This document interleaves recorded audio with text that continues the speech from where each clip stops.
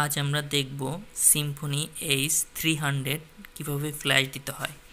এটা একটি মিডিয়াটেকের processor MTK six five nine two এটার প্রসেসর মডেল নাম্বার সো চলুন দেখি আমরা কীভাবে এটাকে ফ্ল্যাশ করব।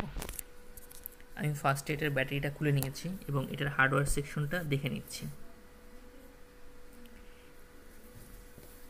এটা হার্ডওয়্যারে কোনো ভার্সন নেই, অতএব আমরা ফার্স্ট ভার্সনটা ডাউনলোড করব। আমি ফার্স্টে এটার মডেল অনুযায়ী ফার্স্ট ভার্সনের hardware H W one H W one এটা মিলিয়ে আমি ডাউনলোড করে নিয়েছি। আমার ডাউনলোড চলছে। আর ইতিমধ্যে আমি মিডিয়াটেকের একটা ড্রাইভার ডাউনলোড করে নিয়েছি MediaTek DA USB VCOM driver এটা আমি ইনস্টল করতেছি। কীভাবে ইনস্টল করতেছি একটু দেখে নিন। ফার্স্টে আমরা ফার্স্টে আমরা মাই কম্পিউটার ম্যানেজারে যাব। ম্যানেজারে যাওয়ার পরে আমরা ড্রাইভার ম্যানেজারটা সিলেক্ট করব। এরপর যে কোনো একটা ক্লিক করার পরে আমাদের অ্যাকশনে এড লেগাসিস হার্ডওয়্যারটা আসবে। এরপর নেক্সট এরপর ইনস্টল হার্ডওয়্যার নেক্সট নেক্সট এখান থেকে হচ্ছে আমরা ড্রাইভারটা পাইয়ে দিব। আমি যেখানে ড্রাইভারটা ডাউনলোড করেছি, ঠিক সেখানে গিয়ে আমি ফোল্ডারটা দেখিয়ে দেবো। আমি সি ড্রাইভে ডাউনলোড করেছি। আমি ফার্স্টে সি ড্রাইভে যাব। এখানে আমার এমটিকে ড্রাইভারটা স্টাক করা আছে, আমি এখান থেকে আমার উইন্ডোজ অনুযায়ী আমি ড্রাইভারটা ধরিয়ে দেব। আমি যেহেতু উইন্ডোজ থার্টি টু বিটের উইন্ডোজ ইউজ করছি সো আমি থার্টি টু বিটেরটাই ধরাবো। ওকে এখানে আমার প্রত্যেকটা পোর্ট শো করতেছে। এখানে আমি আপাতত ফার্স্টেরটা দিয়ে ইনস্টল করতেছি, আমি এখন আপনাদেরকে প্রি লোডারটা দেখানোর জন্য সেকেন্ডটা ইনস্টল করে দেখাচ্ছি।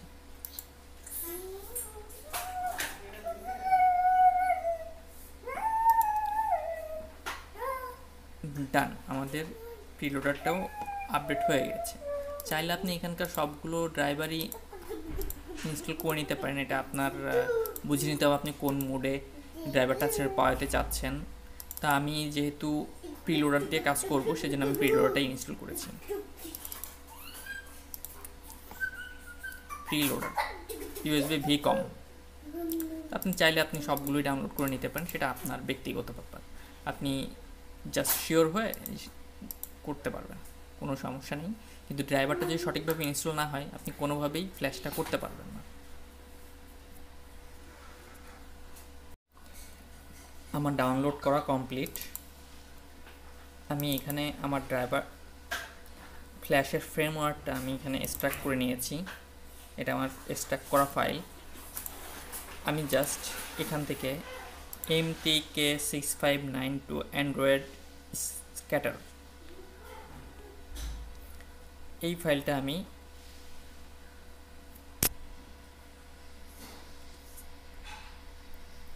এই ফাইলটা আমি এখানে ধরাই দেব। জাস্ট এখানে ধরাই দেব। আপনি দেখে নেন, আমি আবারও এটাকে অ্যাড করতেছি। আমার সি ড্রাইভে গিয়ে এখান থেকে আমি এই স্ক্যাটারটা ধরাই দিচ্ছি। এটা ধরানো হয়ে গেছে। এখানে অবশ্যই মনে রাখবেন, এখানে আপনার ডিএপিএল বিন এই ফাইল ছাড়া আপনার কখনোই ফ্ল্যাশ হবে না। এটা বলতে পারেন আপনার ইসে কীভাবে ফাইলটা ইনপুট হবে, সেই পদ্ধতিটা হচ্ছে এটা। এটা সাধারণত আপনার ফ্ল্যাশের যেই ফোল্ডারটা থাকে মানে ফ্ল্যাশ টুল যেটাকে এসপি টুল আমরা বলি মিডিয়াটেকের জন্য এসপি টুলের ভিতরে এটা দেওয়া থাকে। এটা কোনটা আপনার মোবাইলের জন্য সাপোর্ট করে, একটা একটা করে আপনাকে দিয়ে দেখতে হবে। এখানে প্রায় ছয় প্রকারের আছে। এখন আমি একটা একটা করে দিয়ে দেখব যে কোনটা আসলে আমার সুবিধা হয় আর কি। এটা নিল না। আমার মনে হয় আমার প্রথমটাই নিবে। প্রথমটা নিয়েছে। তো আমরা এখন ট্রাই করে দেখব। এখানে আমরা ডাউনলোড মোডে দিব। এখন আমরা হচ্ছে ডাউনলোড মোডে দেওয়ার পরে আমরা এখন আমাদের ফোনে চলে যাব। ফোনে কিচ্ছু করতে হবে না জাস্ট ফোনে ব্যাটারিটা আমি খুলে নিয়েছি আমার সুবিধার জন্য। এখন জাস্ট শুধু ইউএসবি কেবলটা লাগাতে হবে। ইউএসবি কেবলটা লাগানোর পরে এখানে চার্জিংয়ের ইটা আসবে।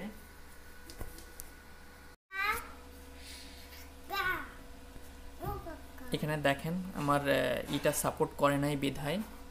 আমার এটা এরকমভাবে আসছে। তাহলে আমার ডায়াটা চেঞ্জ করে দিতে হবে।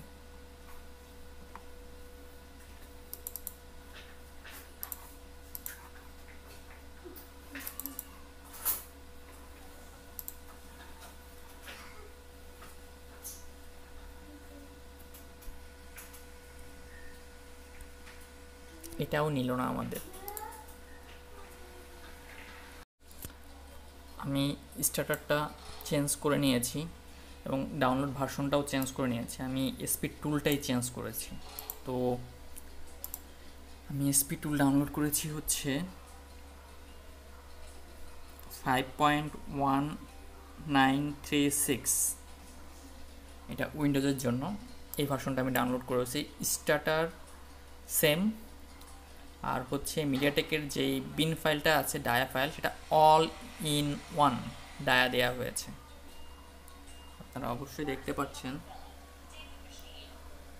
অল ইন ওয়ান এটা। এখন আমি এটাকে ডাউনলোড মোডে দিব। এরপর আমার ফোনটা কানেক্ট করব।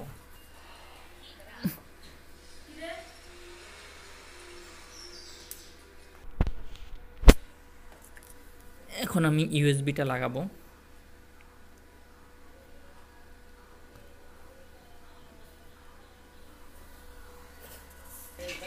সব কিছু ঠিক থাকার পর ফ্ল্যাশ নেওয়ার পরও যদি ফোন ওপেন না হয়, তাহলে আপনার ইএমএমসি নষ্ট